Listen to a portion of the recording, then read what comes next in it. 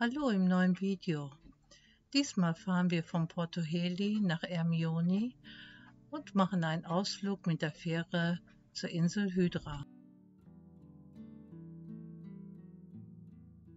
So, haben wir es jetzt geschafft? Was meinst du, Heinz? Oh, das Dingi. Ja, halb voll. Ja. Hoffentlich ist das jetzt vorbei. Also.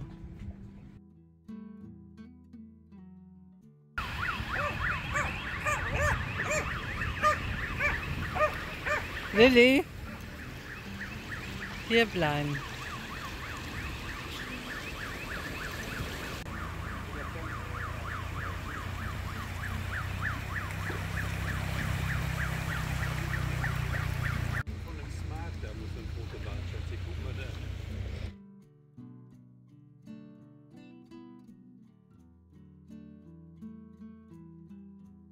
Vermachen hielten sich in Porto Heli noch in Grenzen im Gegensatz zu Volos.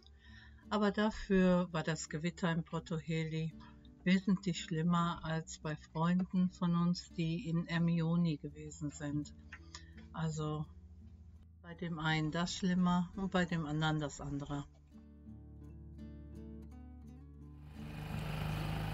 Das Wasser war tagelang richtig braun und es lag eine dicke Ölschicht drüber.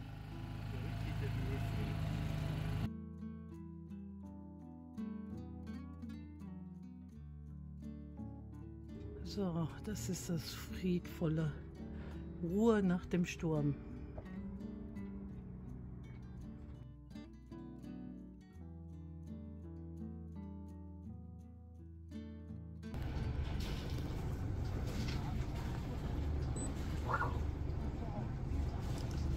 So, wir verlassen Porto Heli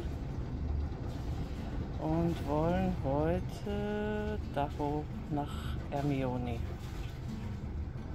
So, jetzt verlassen wir Porto Heli. Jetzt ist es ganz friedlich hier. Aber wenn wir da vorne rausfahren und um die Ecke fahren, dann streifen wir so den Meltemi und äh, das wird schon ein bisschen windig. Jutta und Michael sagten gestern, die hatten 28 Knoten. Da sind wir mal gespannt. Äh, hier auf der linken Seite das nennen sie die griechische Riviera. Das ist so diese Ecke unterhalb von Porto Heli. Und auf der rechten Seite ist die Insel Spätzes. Die soll ja auch so unheimlich schön sein. Äh, vielleicht kommen wir da noch hin. Also im Moment ist wegen dem Meltemi und dem Nordwind keine Möglichkeit.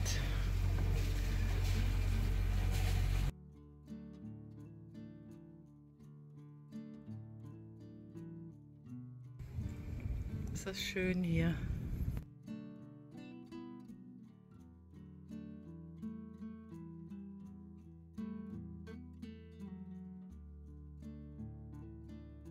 So, wir sind in Ermioni und liegen da vorne am Stadtkai. Und so seit ja, zwei Stunden strömen die hier alle rein, die ganzen Charterboote, wie verrückt. Da kommen so viele Boote an und es ist alles voll.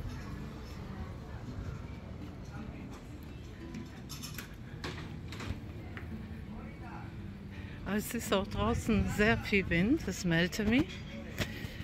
Und dann versuchen die alle noch an den Stadtkai zu kommen.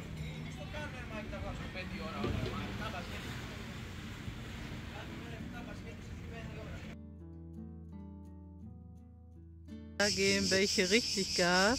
In den letzten Platz in, zu erhaschen.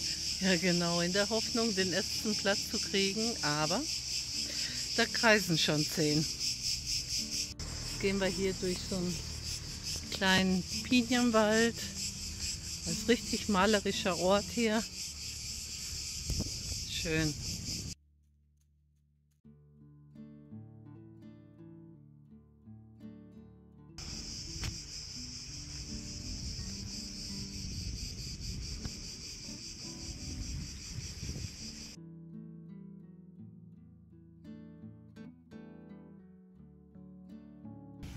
Heute pfeift der Meltemi ganz schön um die Ecke hier. Ja, da wachsen Agaven, sieht man eigentlich wenig hier, ne? Ja, auf der Spitze.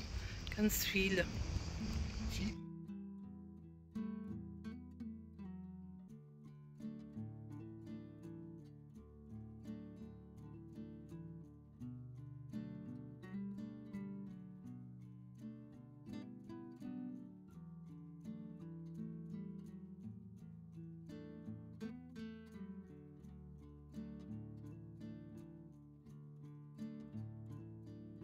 Hier sind wir an der Nordseite von Ermioni und hier gibt es eine Ankerbucht und auch ein, auch ein Stadtkai, aber da kann man bei dieser Welle, die im Moment jetzt hier ist, äh, auch nicht legen.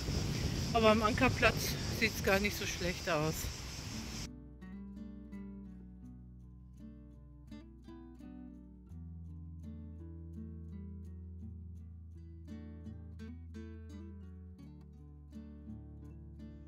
Am Stadtkai konnten wir sehen, dass die Flüge von unserem Windgenerator auch kaputt gegangen sind.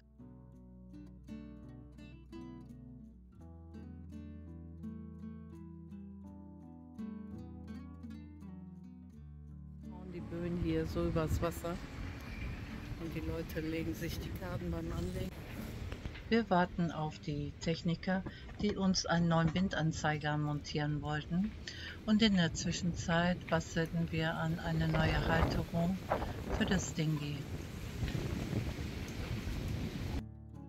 Wir verbrachten ein paar Tage in Ermioni und Lilly genoss jedes Mal die Runde.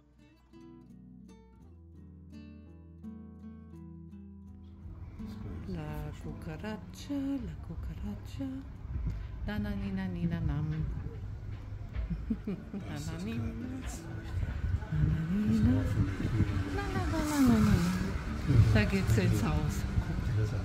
Ja. Ja der Hammer. ne?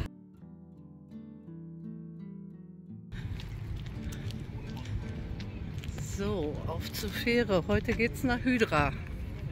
Boah, guck mal die Welle.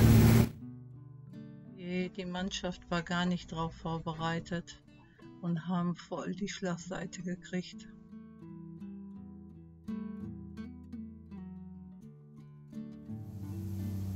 Die Insel Hydra soll sehr sehenswert sein, aber bei diesem Nordwind ist Ankern nicht möglich. Und in diesen kleinen, klitzekleinen Hafen reinzufahren, davon raten sie alle ab, weil diese Schnellfähren hier da reinfahren und auch andere Fähren und es wäre sehr voll, sehr rummelig.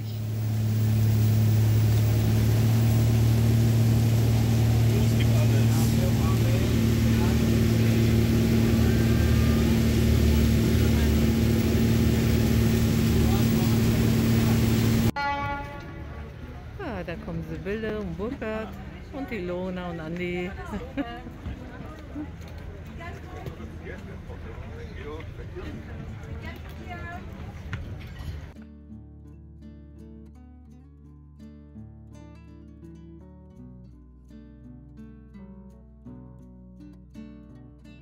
wir wollen da wir waren freundlich. Ich glaube, ich muss diese geistreichen Gespräche aufnehmen. So, das sieht aus wie ein Monster, diese Fähre. Hier auf der Insel Hydra gibt es keine Autos und auch keine Motorräder. Nur diese vierbeinigen.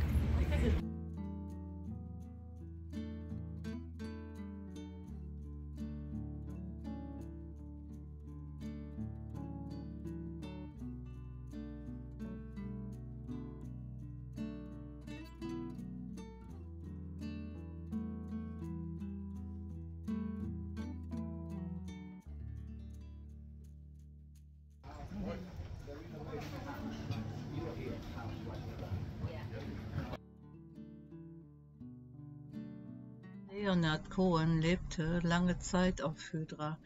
Es war auch in den 60er Jahren bei Künstlern sehr beliebt.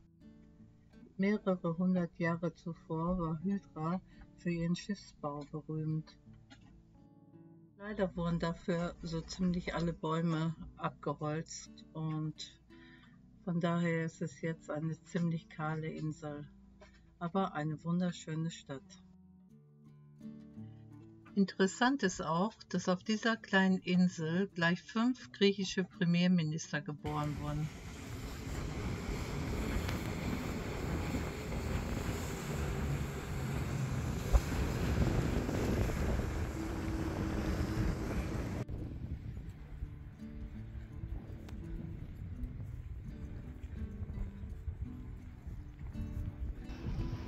Echt interessant.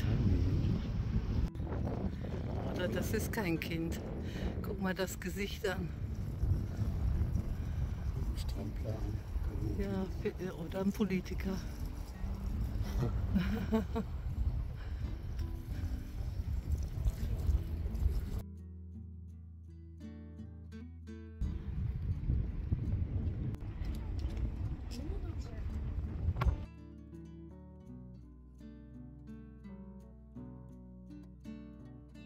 Da der Hafen hier so voll ist und so klein ist, haben die hier so Landungsbrücken hingestellt.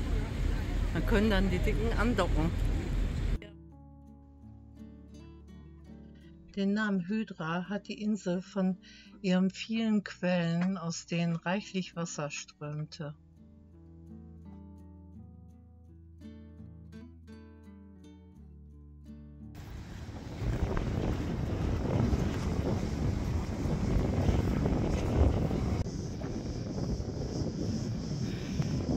Knabe auf dem Delfin von dem Film mit Sophia Loren. 1957 war sie hier. Und diese Mühle, die ist nach Sophia Loren benannt. Weil sie hat diese Insel auch berühmt gemacht.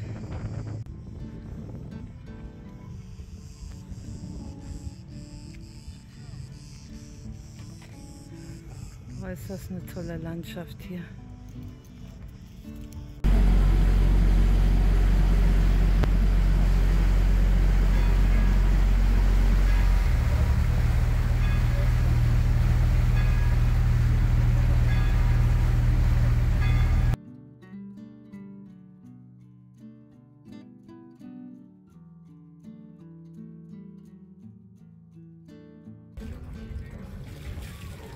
Unser Windgeber wird jetzt gewechselt. Der arme Kerl da unten muss winschen. Aber der spart sich das Fitnessstudio.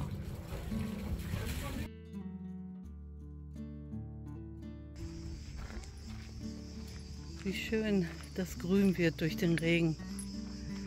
Es sprießt richtig. Ist irgendwie so ein Frühlingsgrün, ne?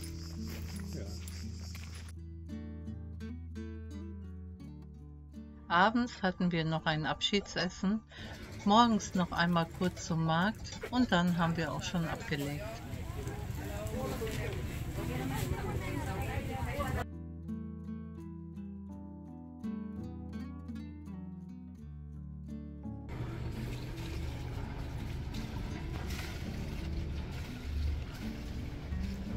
Heute ist es ganz entspannt hier, ganz wenig Charterboote.